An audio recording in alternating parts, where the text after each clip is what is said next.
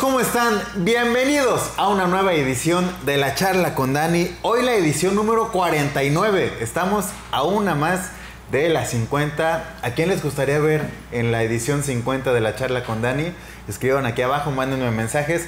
Está la lista muy larga y les agradezco mucho de que pues siempre hay, hay gente que, que nos busca, que nos dice entrevista a esta persona, quisiera ver charla con Dani con ellos. Hay muchos en la lista, los vamos a ir haciendo poco a poco, pero díganme, ¿quién les gustaría que estuviera en la próxima edición de la charla con Dani, que va a ser la número 50? Y miren nada más, el invitadazo que tengo el día de hoy es un gran, un gran amigo, es una gran persona y es una persona que sobre todo yo admiro muchísimo porque a pesar de las dificultades que ha tenido en su vida, a pesar de los problemas que, que a los que se ha enfrentado, eh, sobre todo en los, últimos, en los últimos años, él siempre tiene esa fuerza para salir adelante, aunque ha tenido sí, momentos difíciles donde pues le ha pasado muy mal. Él siempre ha tenido esa, esa fuerza, esa iniciativa de salir adelante, no solamente por su hijo, por su esposa, sino por él. Hoy estoy con un gran amigo, con Ángel Tadeo Ornelas Ponce, mejor conocido como Yello, que en la Facultad de Derecho y Ciencias Sociales de la UAT pues ya, es una persona muy, muy conocida desde, desde que entró, por esa fuerza que tiene. Él, él es ciego desde hace seis años que, que enfrentó esta, esta situación, desde que tenía 30. Y hoy nos va a contar esta historia de, su vida que, que, a mí me parece espectacular, que me motiva y que, que sé que a todos ustedes también les, les, va a dejar algo y les va, les va a dar esa, pues tal vez esa motivación que, que, a veces buscamos encontrar. Hoy con Ángel espero que, que podamos platicar así de fluido como, como siempre platicamos. Pero ahorita le agradezco mucho estar aquí porque se levanta a las 3 de la mañana a cocinar sus flautas que posteriormente por la mañana vende en la Facultad de Derecho, pues para sacar unos pesos y mantenerse estudiando, pero también mantener a su familia. Ángel, qué gusto saludarte, qué gusto estar aquí contigo ya desde hace mucho tiempo que estábamos platicando y pactando esta charla. Hoy estoy feliz porque ya estamos juntos. ¿Cómo estás, Ángel? Hola, hola, muchas gracias, muy bien y pues gracias por invitarme al, al, programa. Estoy muy contento de poder acompañarte. El, el que está contento y, y, feliz soy yo porque me emociona tu, tu historia, me emociona tu, tu, vida, pero sobre todo la, la fuerza que tienes, que, que, yo sí quisiera que, que toda la gente se, se empapara de esa, e, esos ánimos que, que no sé dónde te, dónde te salen, pero, pero los tienes y que ahorita nos vas a nos vas a platicar. Ángel es estudiante en la Facultad de Derecho y Ciencias Sociales, que yo quiero muchísimo y de la cual yo egresé, y a la que voy a ir, Ángel, la próxima semana, porque arranca en esta Facultad de Derecho la octava edición de Yo Comunico, que es un evento que se hace desde hace ocho años en la facultad, muy bueno, donde los estudiantes y cualquier persona puede, puede ir a, tomar los talleres, las conferencias que ahí se van a estar exponiendo. Yo tuve la fortuna y estoy muy agradecido con el director eh, Edis Aguirre, también con la directora de comunicación Judith Terán, con los alumnos que me invitaron a dar una, una conferencia nuevamente en Yo Comunico. Estaré junto con mi amigo Daniel Espinosa, de mis mejores amigos que tenemos por ahí una, una historia que hemos crecido juntos en esta labor de la comunicación y nos va a agradar muchísimo regresar a donde estudiamos, regresar a donde aprendimos tantas cosas, a tratar de compartir un poquito de esta, de esta pequeña experiencia que tenemos en esto que nos apasiona tanto, que es la comunicación. Nos vemos el próximo 8 de mayo en la Facultad de Derecho y Ciencias Sociales con Daniel Espinosa, con Daniel Ríos, en la sala Juan Manuel Solís a las 12 del día. Por ahí estaremos. Ahí te quiero ahí te quiero apreciar, te quiero saludar. Ángel, sé que vas a andar por ahí, pero vámonos con esta, con esta charla que yo desde hace mucho tiempo me la, me la saboreaba. Ángel, ¿cuál es tu origen? ¿Dónde naces? ¿Quiénes son tus padres? ¿Ellos a qué se dedican? ¿A qué se dedicaron en su vida? Platícame quién es, quién es Ángel y de dónde viene. Mira, pues yo nazco aquí en Ciudad Victoria, sí. soy victorense a 100%. Sí. Eh, mis padres, mi padre es hombre de campo, mi mamá es maestra jubilada. ¿Cómo se llaman? Mi mamá es eh, Isolina Ponce Ok. Y mi papá es Saúl Ornelas. Saúl Ornelas. Eh, son originarios de San Carlos. Ah, mira, ellos. Saludos a toda la gente de San Carlos, que tengo muchos amigos por allá. Sí. Sí, pues allá, de allá son ellos y este. Y pues no, yo aquí, aquí me crié, este, tuve, tuve mis familias, a, toda mi familia de allá de San Carlos, Ajá. pero pues yo aquí, aquí radico. Aquí creciste Sí, y aquí. aquí, aquí aprendiste todo. ¿Tienes hermanos, Ángel? Sí, ¿Cuántos tienes? Conocido, uno. uno nada más. ¿Más chico, más grande que tú? Eh, más grande. Más grande que Tres tú. años más grande que yo. Ajá. Este, 33 años. ya 33. Haciendo marcas. Oye, oye Ángel, tuviste una infancia pues, pues, bonita, ¿no? Me, me platicabas de donde hiciste muchas cosas, jugaste. ¿Cuáles eran tus pasatiempos? ¿Qué hacías de, de niño? ¿Qué te gustaba hacer? No, pues, pues, como todo niño, ¿no? Andar en la calle jugando bicicleta, canicas, trompo, este, los juegos de antes, ¿no? Los Sí. juegos que ahora ya pues, puro celular, ¿verdad? Pero antes era, sí, igual salir con los vecinos Ajá. a jugar. ¿En qué zona vivías de Victoria?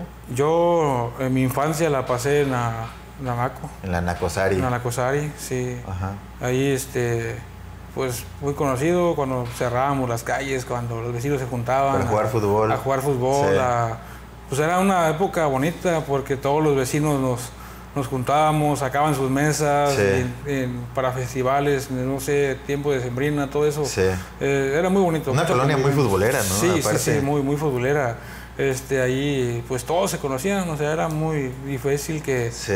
que nadie dijera, no, pues este niño dónde es, ¿no? O sea, todos, todos Ajá. teníamos una muy buena comunicación, muy buena, muy buena familia, éramos todos. De ahí, de la infancia, siempre empiezan las pasiones, Ángel. ¿Cuál fue tu pasión ya en la pues, infancia, juventud? Ahí me parece que empezó a nacer en ti una, una pasión, ¿no? Muy fuerte.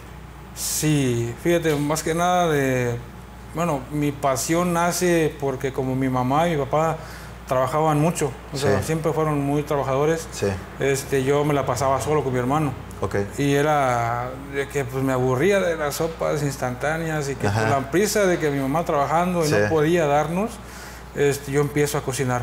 ok. Empiezo a cocinar y de ahí se me, se me levantó esa pasión de ¿Pero que, quién te, quién te enseñó? ¿Cómo, qué Eh, cómo aprendiste? pues básicamente viendo. ¿Tú o sea, solito? yo solo viendo, Ajá. o sea, mira, me acuerdo una vez que llegó mi abuela corriendo porque estaba la camazón en la casa una madera porque me puse a cocinar un huevo y se me olvidó, lo dejé ahí y se me quemó.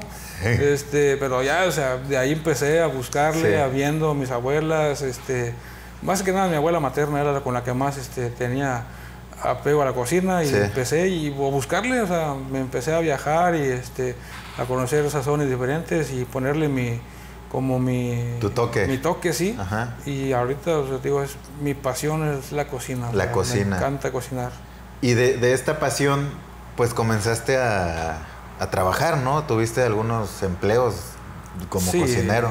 sí Platícame de pues, eso. trabajé en varios eh, restaurantes aquí Ajá. en Victoria pero básicamente yo pues se dice mis primeros pasos fueron en las parrillas Ok. O sea, mi carnes asadas, pollos asados, Sí. todo eso. Ya casi que las comidas fueron en Veracruz. Ajá. Allá estuve eh, trabajando en restaurante, igual casi que en, en corte, ya le llaman asaderos. ¿En qué municipio estuviste ya? Eh, en Tuxpan. En Tuxpan. Tuxpan, Veracruz. Estuve- allá estuve seis años. Ok. Este, allá aprendí muchas cosas, eh, muchos platillos y todo eso, pero digo, básicamente yo me certifiqué en ciertas cosas como carnes, Sí. todo lo que sea carne, carne, guisos de carne Cortes. cortes, Ajá. todo eso y, y ahorita me ha servido mucho porque Sí. ya con el siempre el olfato, el oído, ya sé cuando qué corte es o qué, qué, qué punto le doy y todo Sí. eso. Es lo que me ayuda mucho. Tú ya sabes el punto de la carne por Sí, el por simple el olfato. sí. Órale. Qué padre.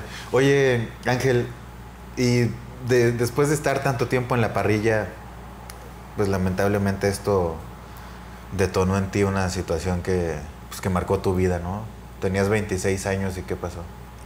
26 años y fui diagnosticado con un padecimiento que muchos le achacan a, a la diabetes, Ajá. que se llama glaucoma. Sí, Pero bueno, ciertamente es una enfermedad degenerativa.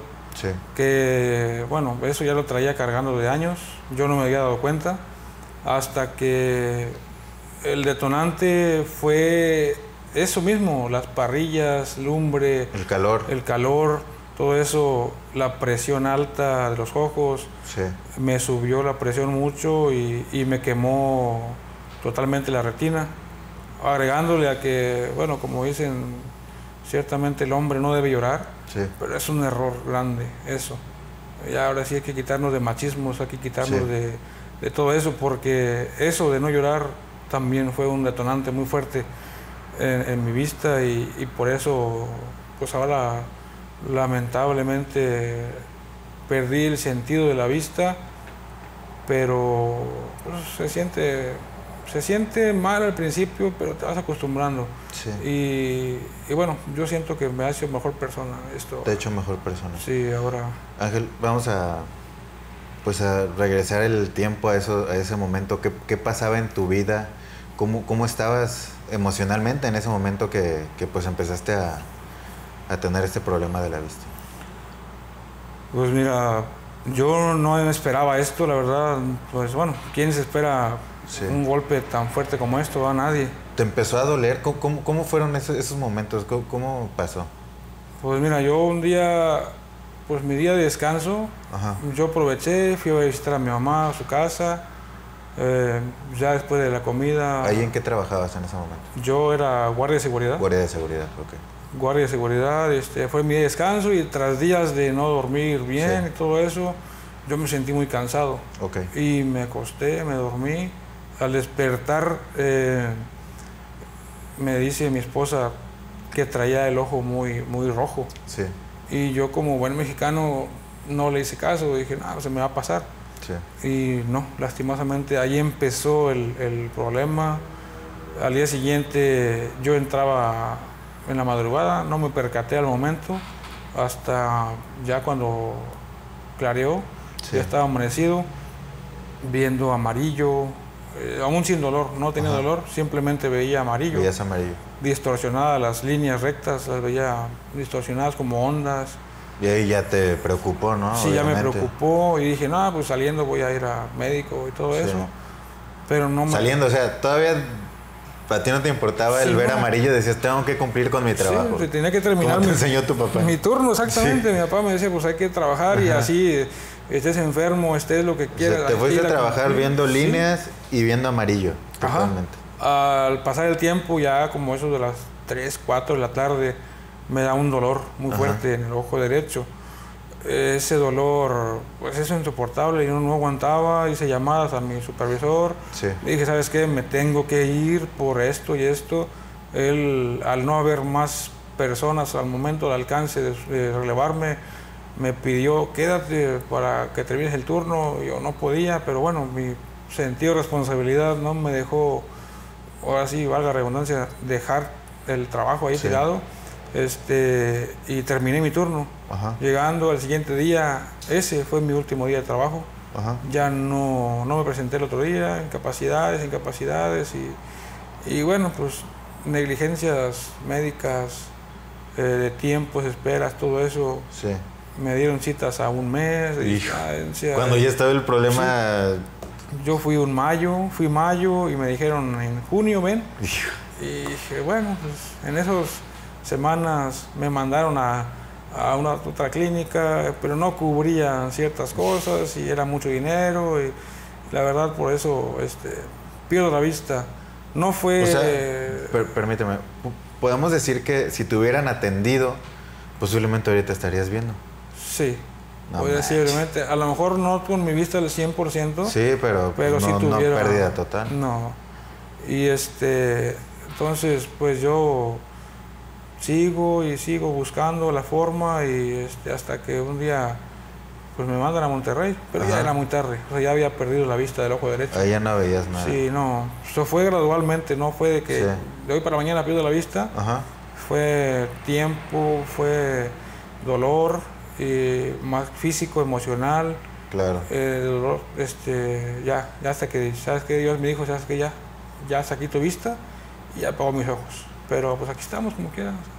¿Cu- ¿Qué, qué fue lo más difícil, Ángel, de ese momento cuando, cuando, de esto que comentas, ya te diste cuenta que no ibas a volver a ver más? Cuando ya, ya en tu cerebro, pues, se dio cuenta que, pues, ya no más, ya no se va a poder ver. ¿Qué, qué fue lo más difícil en ese momento? Mm, Lo más difícil en ese momento fue saber que no iba a volver a ver a mi hijo. Hijo. Eso sí me dolió mucho. Y ya cuando me dijeron, ¿sabes qué? Ya no vas a ver. Yo, este, pues sí me derrumbé, lloré, este, muchas cosas y no, no me da pena decirlo porque pues es, es, es algo que, que se siente, ¿no? Pues es, es que- es un, ¿Qué, qué dolor tan grande, imagínate qué, qué, Sí. que enfrentaste, o sea, es un duelo que estás llevando. Este, se puede decir ciertamente que ya lo superé en cierta forma, Sí. Pero no, sigue, sigue el, el- Sí. el- ahí el, el sentimiento. sí, pues la impotencia, primero, ¿por qué me pasa a mí? Sí, ¿Por qué? porque esto, o sea, digo, me voy a adelantar un poco. Hace poco en, en un festival de mi hijo, el Sí. Kinder, este, yo fui acompañándolo. Sí, Yo no esperaba esto de, de perder la vista, pero fue un festival, un, un- ¿cómo se llama? Un desfile. sí, Este, los niños iban con sus papás en bicicletas, eh, X, scooters, todo eso, y yo no podía. O sea, mi, mi sentimiento fue ver a mi hijo Sí. solo, bueno, su- con su mamá y todo, pero yo no iba con él. Claro. O sea, y eso, eso como que, sí, pues sí, sí, sí. está- te sentiste está- mal, como cierto coraje que no sí, no o sea, frustración él, de que sí. tengo que estar sentado, parado Sí. en una esquina sin poder, porque a veces en esos lugares, yo sé que no estorbo, pero es más ágil otra persona que yo y, y, este, por eso, este, sí, sí cala.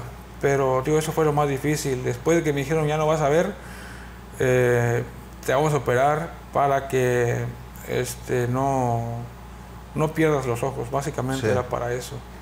Pero el dolor de la dolor físico y el dolor de ya no ver, eso siempre va a quedar. Ese, un momento me, me decías que pues fue muy doloroso pues saber que no ibas a volver a ver a tu hijo, que no le ibas a volver a ver crecer. Y cuando pasó esta situación, él era muy pequeño, ¿no?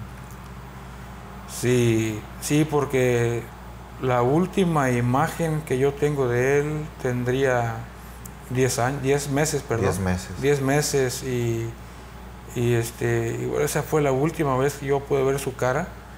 Y la verdad, pero bueno, Esa imagen sigue en tu esa cabeza imagen ahorita? sigue en mi cabeza. Sí, tuve el- el- la fortuna de ver a mi hijo, Sí. este, lograr verlo y, y pues ciertamente es mi motor, es mi fuerza para seguir adelante este, a pesar de las adversidades eh, y su corta edad. Sí. Me ha demostrado mucha madurez, mucha, Sí. mucha madurez, porque yo cuando ya no veía, yo me guiaba por, por sonidos. Sí.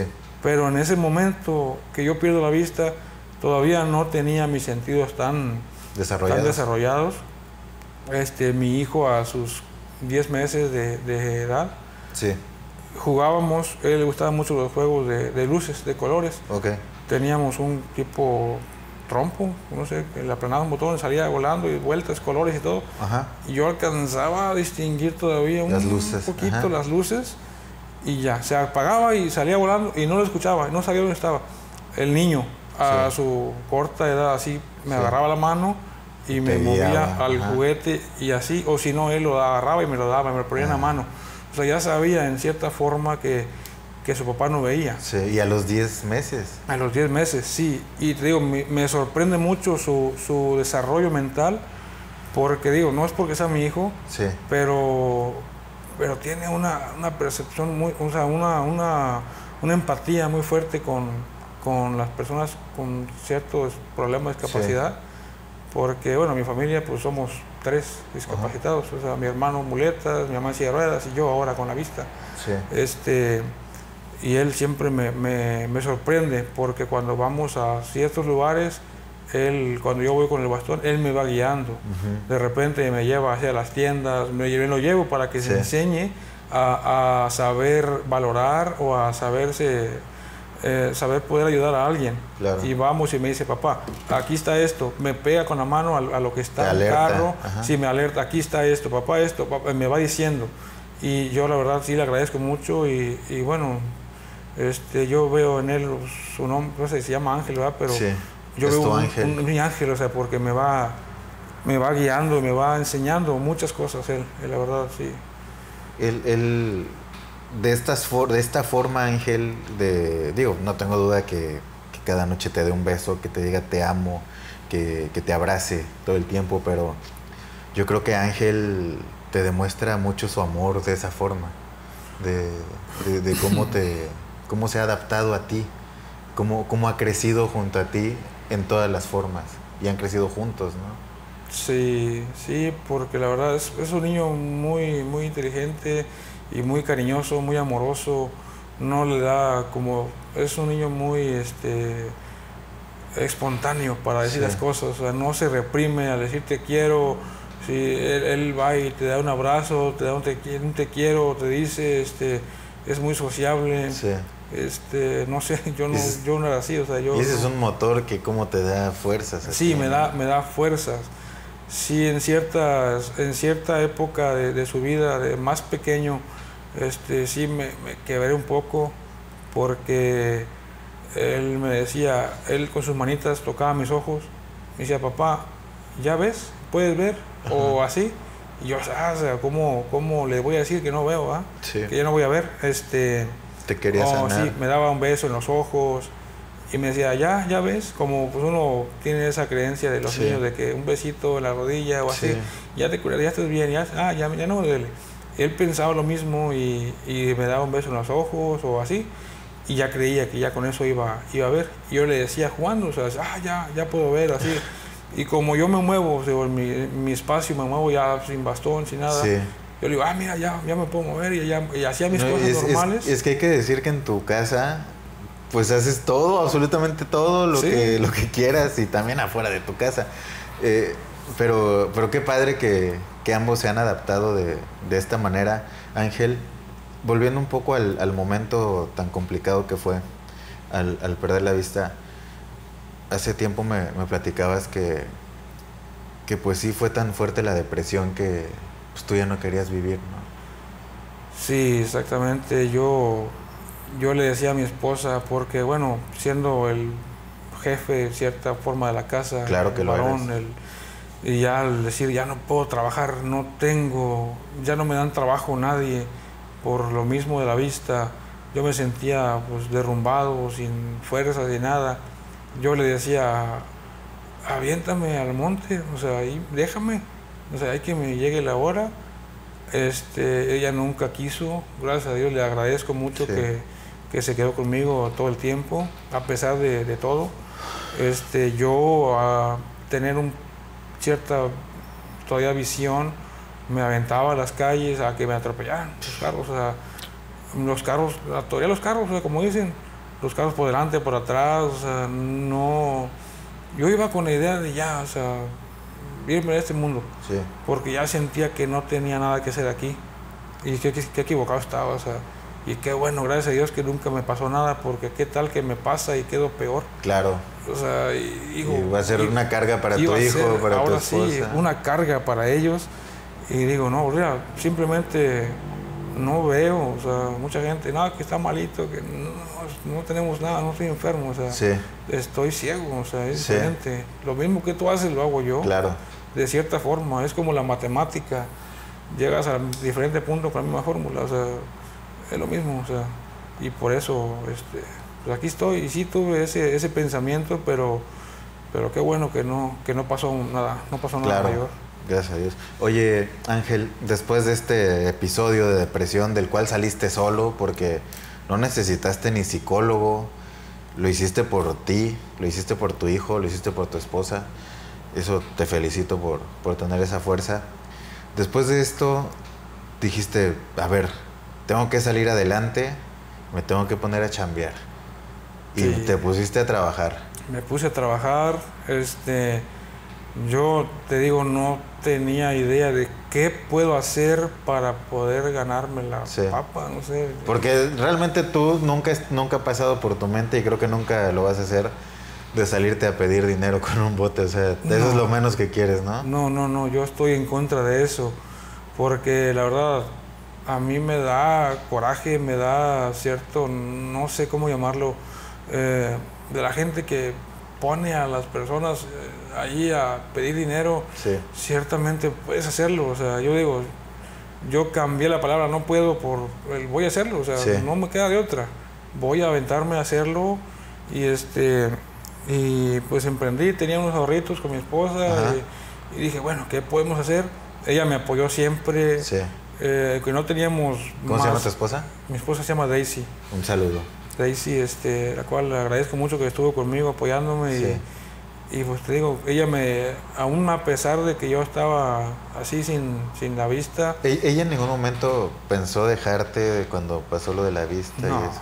no, no, para nada, al contrario, me apoyaba mucho, fue la, eh, fue como mi pilar Sí, que me apoyó, me acompañó a, a las citas, estuvo conmigo, este, Es ahí, es Sí. ahí, Ángel, ¿eh? tuvo que hacer como madre el esfuerzo, el sacrificio de dejar a nuestro hijo en- eh, con su mamá a cuidado, Sí. este, sabiendo de que pues, él iba a sufrir y todo eso, pero valía más dejarlo un ratito aquí para nosotros andar un poco más eh, libres, en, porque el hecho de cuidarme a mí y cuidar al niño era muy difícil Sí. y decidimos decidimos hacer eso y este te digo o sea, el trabajo era muy difícil ella no podía trabajar porque el niño estaba pequeño Sí. este yo no me podía dejar solo porque como te digo yo todavía iba empezando con la vista no sabía hacer muchas cosas este pues nací de nuevo se puede decir Sí. y empezamos teníamos una feriecita ahorrada y le dije sabes qué vamos a hacer algo teníamos unos anaqueles en la casa Ajá. otros que los prestó mi suegra. Y en la casa pusimos una tienda de abarrotes. Órale, así, muy o bien. sea, y eh, empezamos, me fui, compramos las cosas, surtimos, medio surtimos la tienda y compramos y vendimos y todo eso. Tuve que aprenderme las monedas al tacto. Ajá. Esta moneda de tanto, Los tanto, tal, los billetes. billetes. Este, hasta ahorita no me explico cómo, cómo le hago. Este, muchas personas en mi situación de ceguera no saben No hacerlo. pueden. Este, y te digo, no, no me superviso a nadie, ¿verdad? No, no soy más que una, un simple, humilde ser humano Sí. este, que me batalla, ¿verdad? Pero hay habilidades que desarrollamos.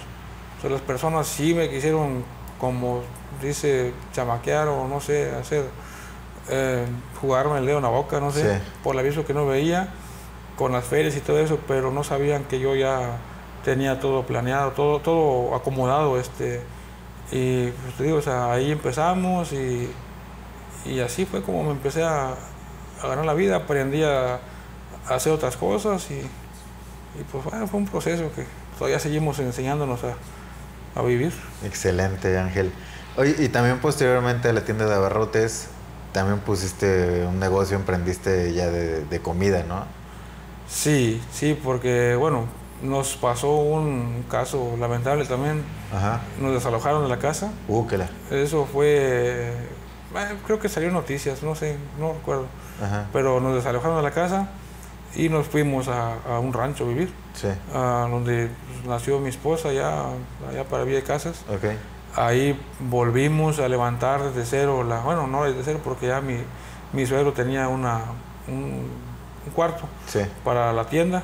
Nosotros lo que hicimos fue arreglarlo y levantar y empezar a surtir. Yo le dije, bueno, voy a utilizar mis conocimientos en, en parrillas, pollos y todo eso para Sí. preparar comida. Y me empecé, conseguí un asadorcito, mi esposa y yo nos ayudamos, yo le decía cómo, ella cómo preparar las cosas, ella se encargaba de asarlo, de todo eso, y empezamos a vender. Ajá. Y nos fue bien, nos fue eh, ciertamente, eh, pues nos iba bien, pero yo quería más, o sea, yo tenía hambre, quería, Sí. quería otra cosa. Sí. Y yo decido regresarme aquí a Victoria a buscarle otra, otra forma de... Ajá. ¿Y Y qué encontraste ahora? Eh, bueno, es que yo quería, bueno, porque allá en el rancho era muy difícil, porque yo me sentía enjaulado. Era del cuarto, la casa, cocina, tienda. Era un pequeño, muy... Y no podía irme más allá porque el miedo a perderme.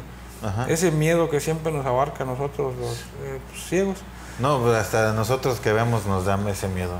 Pues Cuando vamos a un lugar desconocido. sí. Y dije, bueno, pues tengo que aventarme. Yo, ahora sí, literalmente a ciegas. Ajá. Este, digo, bueno, me tuve que regresar acá. Estuve investigando. eh, digo, vamos a hacer un paréntesis.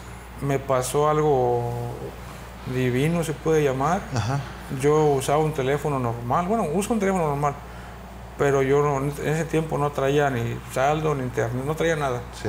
Lo traía así nada más. Y yo ya estaba mal, o sea, ya, ya estaba muy, muy mal.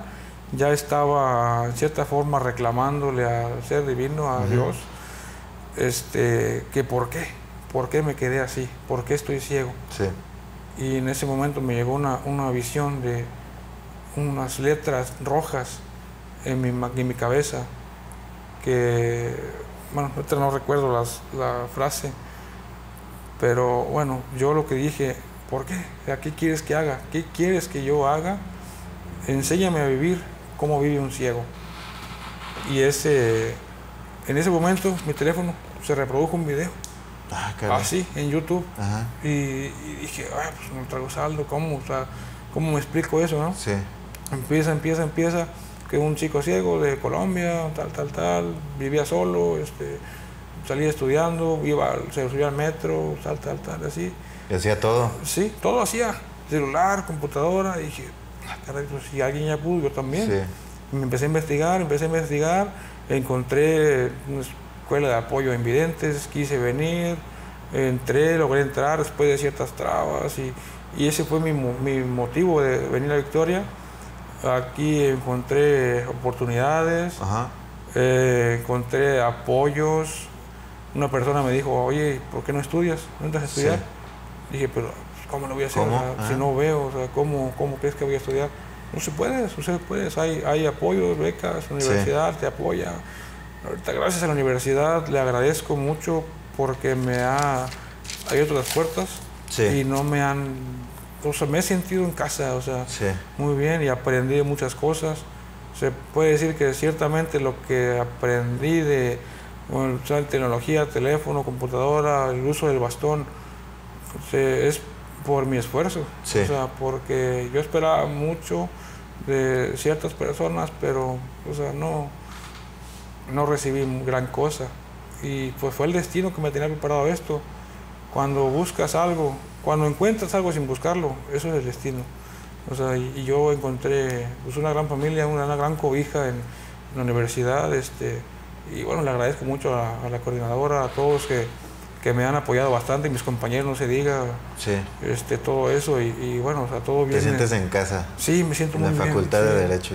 y La. Facultad de Derecho, exactamente, me, me siento muy, muy arropado, muy Sí. bien. O sea, nunca no me han criticado, no, No, me han, no, no he sentido. He sentido el apoyo. Sí, sí, Yo ciertamente. fíjate que desde cuando yo estaba en la facultad eh, era, era así. O sea, yo, yo también tuve varios compañeros ciegos, tuve eh, compañeros con alguna discapacidad y siempre la facultad, la verdad que felicidades porque reciben a cualquier persona y hasta o sea, el, el resto de los alumnos nos, nos dan la pues la iniciativa de, de arroparlos, de, de que se sientan Sí, parte del, del grupo y, y- y qué bueno que, que sigan haciendo este tipo de, de cosas porque pues, la neta también te quisiste meter a otra, no, no vamos a decir cuál, pero Sí. pues, no, no te aceptaron. pues, no me porque- aceptaron porque, bueno, la verdad, me- pues sí me dio, pues no coraje, como que, pues no sé,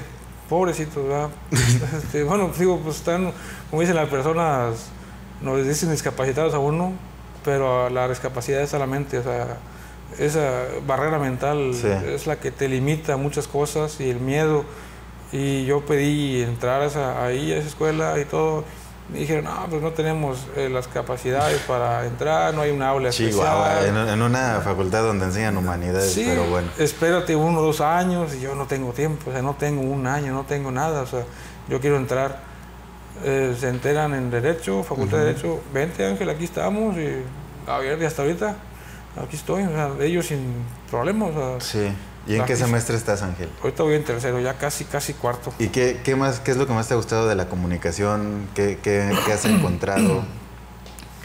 Pues la verdad, pues es que lo mío, ya al no tener la vista, este, pues a mí lo que me gusta es, es el, bueno, yo entré ciertamente por la locución y el, hacer conferencista, dar pláticas. Este, ahorita, pues digo, quiero, quiero entrar a, lo que es la conferencia, la, a locutor, locución, todo eso. La voz es lo que me, lo que me ayuda. Y, lo vas a lograr, estoy seguro. Lo quiero lograr, lo estoy buscando. Y digo, quiero trabajar en que no le cierren las puertas a las personas con discapacidad. O sea, a nivel, todas zonas, escuelas, eh, toda la, sea jardín de niños, primarias, secundarias, darles este, capacitación para que no tengan el pretexto de decir no estamos capacitados. O sea, aquí está, yo no quiero que venga, no sé, niños, jóvenes, que digan, sabes que no, no puedo estudiar y que tengan que verse forzados a estar en una esquina pidiendo dinero. O sea, no, eso no es, no me gusta. Yo quiero luchar por eso y, sé que algún día, este, tanto picar piedra voy a encontrar algo, o sea, algo, algo, voy a encontrar. Totalmente de, acuerdo, Ángel, y, sé que sé que así va a ser. Eh, ahí en la, en la Facultad de Derecho, una de las, pues, aparte de estudiar, una de las cosas que haces es vender flautas por las mañanas, flautas que, que tú cocinas en tu casa, te levantas a las 3 de la mañana para cocinar, para guisar, para preparar todo en una en tu hielera que, aquí la tengo a un costado, hubiera estado padre, ahorita la pongo. Eh, preparas tu hielera para irte a las 6 de la mañana a estudiar, primero a, a aprender en las clases, sí. pero en tus ratos libres o entre clases pues te sales con tu hielera y ahí vendes tus flautas. ¿De qué sabores? Qué, ¿Cuántas te llevas? ¿Qué, cómo, te, ¿Cómo te ha ayudado esta actividad de, emprender en la escuela en tu vida diaria? Mira, pues esto tiene poco, relativamente poco, porque yo lo hacía con el afán de ciertamente agradecer a las personas, simplemente. A mis compañeros, yo llevaba como lonche, nada más. Okay. Yo lo hacía como pues sí, para comer. O sea, nada más no para generar ganancia o algo. o sea, llevabas para invitarle a tus compañeros. ah, mira, Los mismos compañeros me dijeron, oye, ¿por qué no vendes? O sea, vende, está muy bueno, o sea, te ayudamos a vender, todo eso. Y yo entre, entre decidía, bueno, hasta que... Porque te daba pena, ¿no? Antes vender. Me daba pena eh, vender y todo eso. Y nada, pues, ¿cómo crees que, que yo...? y ya me decidí y, bueno, voy a llevar.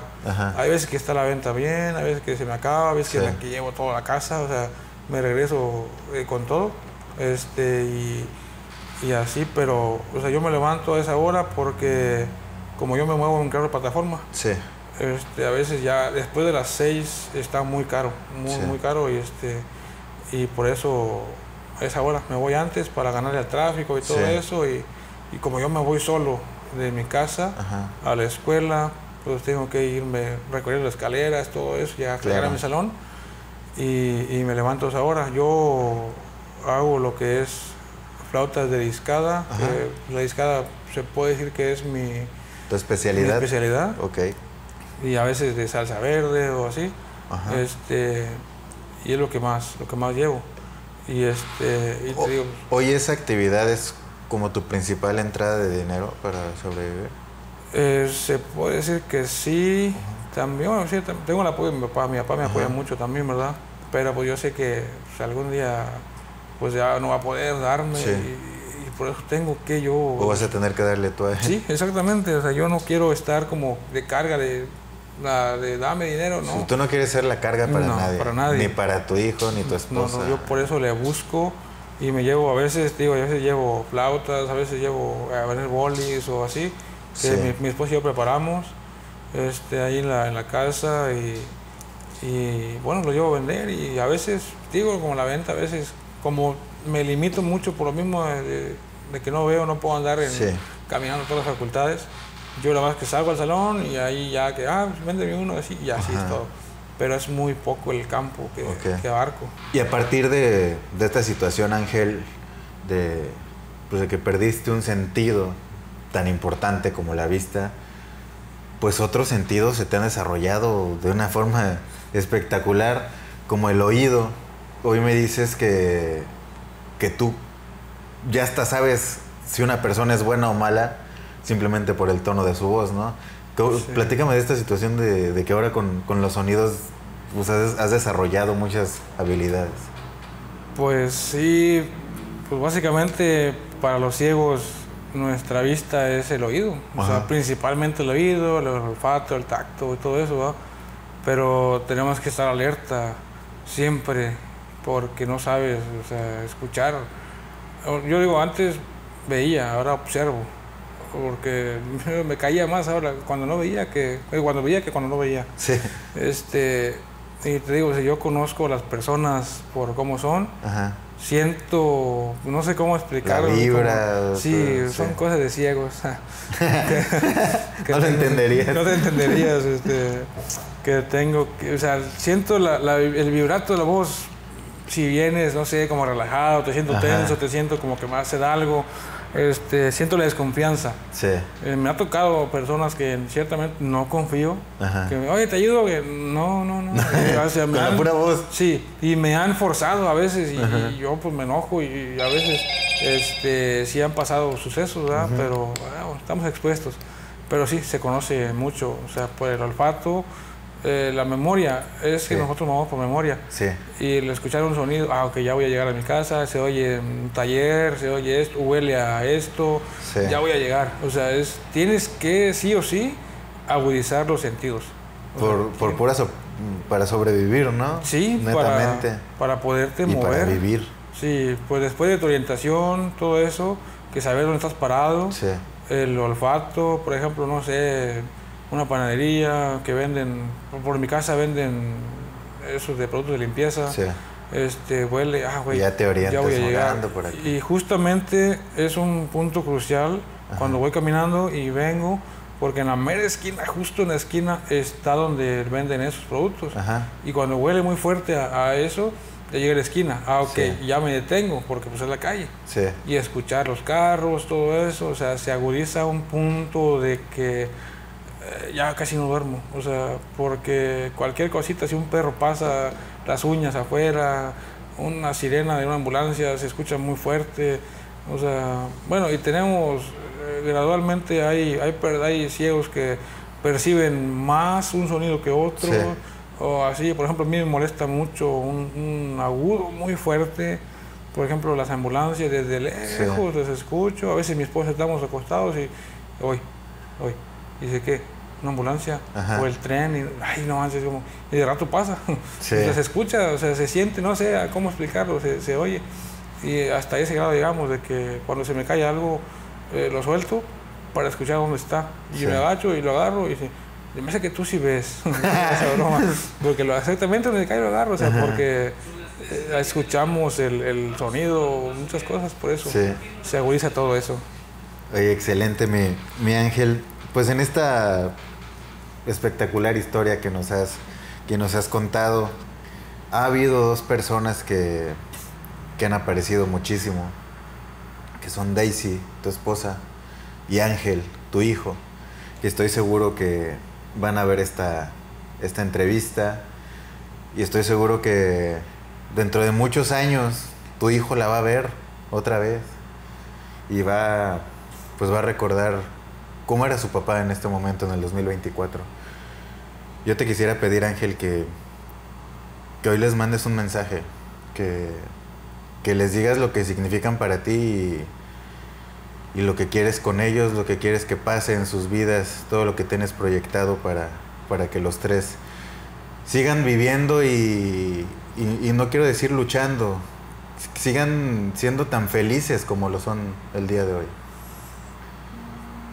Pues principalmente a mi esposa que fue la que me ha apoyado este pues emocionalmente emotivamente que me ha apoyado a, salir adelante en todos los sucesos que desde que empecé a perder la vista hasta que ahorita que ya no veo me acompañó en los dolores en todo sufrió conmigo y, y todo eso. Pues le agradezco que, que se haya quedado conmigo a pesar de todo lo que pasó y no me haya este, abandonado como ciertas personas han hecho. Este, se ha quedado al pie del cañón conmigo, mi hijo también, que a, su comprendimiento, su entendimiento me ha sabido apoyar y se ha quedado conmigo, no me ha juzgado.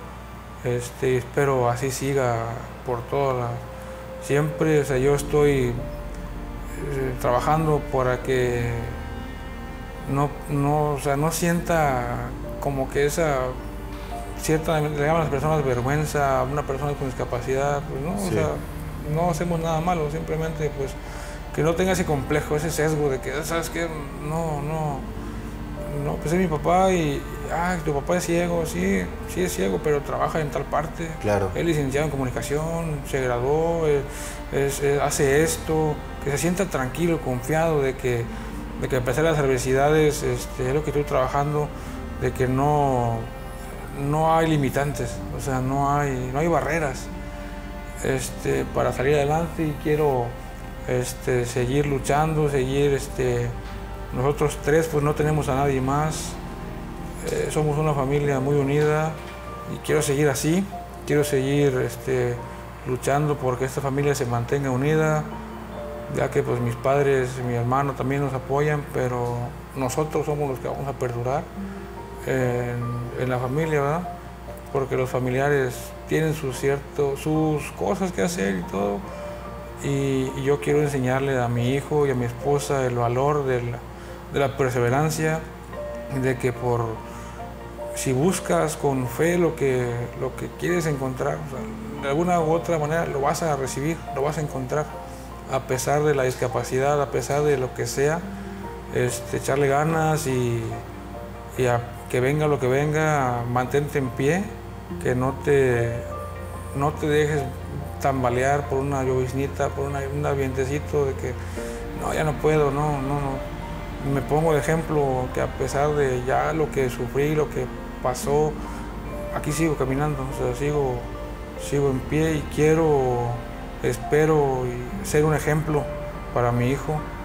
Y bueno, las personas que vean este, este video, esta, entrevista, les sirva de algo mi, historia y, este, y puedan motivarse a hacer las cosas que, que, tienen miedo de no hacerlo, porque el peor, el peor miedo es no hacer las cosas. Totalmente. Oye Ángel, yo se me quedaron dos frases muy marcadas en, en, la cabeza de todo lo que hemos platicado el día de hoy. Una es, los ciegos de antes eran los que batallaban. Dijiste eso hace rato. Y también me dijiste, a partir de que soy ciego, soy mejor. Sí. Bueno, la primera, la voy a dejar al último. Voy a empezar con la... Desde que perdí la vista soy mejor. Sí. Soy mejor persona, soy mejor, no sé si hijo, esposo, no, no sé pero ciertamente yo digo, la vista, la, perdón, la ceguera me ha dado más cosas de las que me quitó. Sí. Porque yo antes era una persona que no ocupaba a nadie. O sea, yo solo, aunque me pasara lo que me pasara, batallara más o X, no quería que me ayudara nadie. Yo podía solo. Al perder la vista me doy cuenta de que no o sea, somos, somos un equipo, sí. todos ocupamos de todos, tanto yo te puedo apoyar en algo, tú me puedes apoyar en algo, o sea, todos tenemos esa, esa conexión este, de necesitarnos, o sea, nadie estamos expuestos a, a que ahorita ah, yo no me, hace, no me hace nada, o sea, yo estoy completo, yo qué, yo puedo andar, pero yo también era así, yo también andaba que nada, que voy para arriba y para abajo en la camioneta, me subo, vengo y nada, me quedo ciego. Y esa es una lección muy fuerte. Tuve que llegar hasta este punto para poderme dar cuenta de que somos muchas personas. Sí. Y, bueno, pues, tuve que llegar y, aquí estoy, pero bueno, y la otra de que los ciegos de antes batallaban es muy cierto, porque he conocido personas que están completas en cierta forma, tienen sus brazos, piernas, vista, pero buscan la puerta fácil y escapan de la vida y, digo, pues no, antes tenías que salir los ciegos de antes salían y hasta que pisaban el charco sabían que estaba lloviendo. Sí. Eh, hasta que es, o sea, tenías que ir y pedir ayuda para todo. Quiero salir a comprar mis cosas personales. ¿Me acompañas? No, es que mira, no puedo porque estoy diciendo, ah, bueno, no ibas, por el, ya no podías salir. Sí. Y ahora tenemos la computadora aquí, celular. La tecnología, ha ayudado tecnología mucho. mucho, mucho ha ayudado. O sea, yo digo, el que no quiere es porque Sí. la verdad es, es flojo, o sea, no. En el teléfono encuentras muchas, muchas aplicaciones. Sí. Este, hay desde videoconferencias con alguien. Este, ¿Se puede decir nombre de aplicaciones? o? Pues adelante, sí, por favor. Bueno, pues yo ocupo varias, que es Lazarillo, Ajá. GPS, es como un parlante que te va guiando, Ajá. pones la dirección que vas y te- si vas caminando te va guiando, como un GPS, o sea, de izquierda a la derecha, voltea, tal, o sea, te explica todo. Hay otra que se llama Be My Eyes, que es. Sé mis ojos en Sí. español. Very good. Eh, Esa es una aplicación que es muy útil Sí. porque si vas caminando te desorientas o algo, sabes dónde andas, pero llamas a un voluntario, es una persona, esas, es gratuita esa aplicación, no te cobra nada. Ajá. Este, le picas, llamas a un voluntario y se abre la cámara, se, se abre la cámara tu trasera y te va guiando alguien. Y ya él si- ve lo que sí, tú- Como si fueras eh, tú guiándolo. Ah, ok, mira, enfrente hay esto. Tú vas con tu celular y con el bastón. Enfrente de ti hay un carro. Hay esto. Voltea a la izquierda, a la derecha, cruzar calles. Es muy útil. Qué chido. ¿Cómo se llama esa? Be My Eyes. Be My Eyes. Esa está muy útil. De hecho, casi muchos, pocos la conocen, ¿verdad? Pero es muy útil para... Yo poco la uso, pero cuando sí la he ocupado. Sí. Hay muchas eh, formas de Y, lector de billetes. y también no, no te pierdes series ni películas. No, También nada. libros. libros, libros, películas, este, todo. Gracias a la tecnología lo puedes. Y personas que se ocupan y se preocupan. Pues es que por- haces todo, Ángel. La verdad. Es que la verdad, no, como te dije al principio, no me gusta causar lástima Sí. de- o depender de alguien porque la verdad, o así como dice el dicho, ahora sí voy a ser, no, sonar un poco egoísta, nací Ajá. solo y me voy solo. O sea, Sí. si no puedes ayudarme, no te voy a quitar tu tiempo para dármelo a mí. O sea, si yo puedo hacer las cosas, o sea, yo sé que sí, de- puedo necesitar a alguien, pero que sea lo mínimo. Sí. El 95% de las cosas las hago yo solo. Ajá. O sea, ya para salir a algún lado o X, ahí sí ocupo un poco de apoyo, Sí. ¿verdad? Porque es inevitable. Claro. Pero trato yo de, de hacer... ser mis- autosuficiente. Sí, autosuficiente, o sea, no depender porque, nada, que mi esposa, que mi acompáñame, vamos, sí, o sea, digo, no salgo porque no tengo la necesidad de, Sí. porque pues está mi esposa, me acompaña o X, pero si hay la... O sea, de repente se va a ocupar y, y tengo que hacerlo, saberlo hacer. Claro. O sea, digo, pues no, no hay nada. O sea, yo te digo, utilizo la computadora, teléfono, o sea, todo con un parlante. Sí. En la computadora es diferente al celular porque el teléfono nomás le pica, lee todo, te habla y la computadora es diferente. Ajá. Hay que aprenderte un cierto comandos, controles, teclado. No ocupamos, Sí. el, no ocupamos el mouse ni nada. Son, son combinaciones de teclas. Ok. Que esta con esta hace esto, esta con esto. Todo lo que Sí. se hace en la computadora lo hace uno. Editar videos, sonido, audios, este, grabar, tomar fotografías. Sí. Yo tomo fotografías. Este, hay ciertas técnicas, este, hay muchas cosas para todo. O sea, el teléfono te dice todo. Todo. Todo, Haces todo, todo. sí. Pues qué, qué- qué bárbaro, Ángel. Me, me llena de gusto esa, ese ímpetu, esa iniciativa que tienes para seguir adelante, porque yo desde que he platicado contigo me repites mucho una, una frase que es, hay que darle para adelante. Pase lo que pase, hay que darle para adelante y siempre, yo sé que siempre va a ser así en, en tu vida. Te felicito por, por cómo eres, por todos los obstáculos que ya der- derrumbaste y, y por los que siguen por derrumbar, porque en la vida todos tenemos y, y siempre, hay, siempre hay pro- problemas. Pero yo sé que tú vas a salir adelante y lo vas a seguir haciendo por ti, por tu hijo, por tu esposa. Y quiero que sepas que, pues, que aquí tienes un amigo para siempre, Ángel, que, que te agradezco muchísimo por, por abrir tu corazón, por contarnos tu, tu historia. Y para cerrar, quiero, quiero que nos digas con qué sueñas. ¿Cuál es el sueño que, que tienes? Eh, primeramente, mi sueño más grande es pues ser un buen padre para mi hijo. Espero estarlo cumpliendo. Y el segundo es llegar a, a ser un gran conferencista, conocido, reconocido, este, dar esa motivación que la gente a veces pierde por cosas mínimas. Sí. O sea, que no tengo para un micro, que no tengo esto, no tengo zapatos. Que es no carnal, yo ya no tengo la vista y le doy. no. no tengo para un micro, me voy caminando, tengo pies, o sea, no tengo para eso, no tengo zapatos, aquel no tiene pies y, aún anda sí. su silla de ruedas empujando, o sea, no te, no te quedes sentado, no te no, no pierdas la fe por cosas significantes, o sea, búsquele la forma. O sea, te digo, hay muchas personas, me enfoco en la discapacidad visual porque es la más difícil para mí. Es la más difícil porque una persona sin piernas eh, van así de ruedas, una persona en muletas pues igual, sí batalla, no le quito eh, nada, ¿verdad? Es, sí se batalla, pero la, la vista es, un problema muy difícil. Yo por eso digo, si voy a hacer un comercial, si alguien existe, una persona que esté batallando, que se encuentre en la situación que yo estuve en ese y les puedo apoyar en algo, este, estoy abierto. O sea, si quieren algún consejo, cómo le hice, cómo puedo esto, pues aquí estoy. O sea, eh, búsquenme y lo puedo, les puedo ayudar, orientar a mi, a mi lo que yo he aprendido en mi experiencia. Tu testimonio, sí. Este, lo puedo, lo puedo hacer con gusto, o sea.